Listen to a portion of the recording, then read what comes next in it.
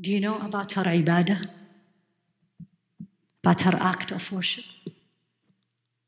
How long? A man came, of course, she was a faqihah, she was knowledgeable, you all know that.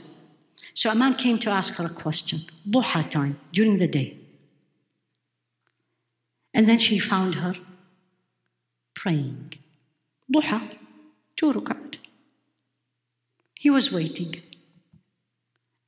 and waiting and waiting because she was still praying. Another man came to him and says, Oh, you're waiting for her to finish? Go and do whatever you need to do and come back.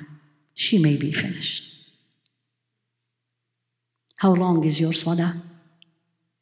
If you pray five times a day, how long is your dua? How long is your reading the Quran? And how long you spend time on the WhatsApp, social media, or in the kitchen. It's painful. It's so painful.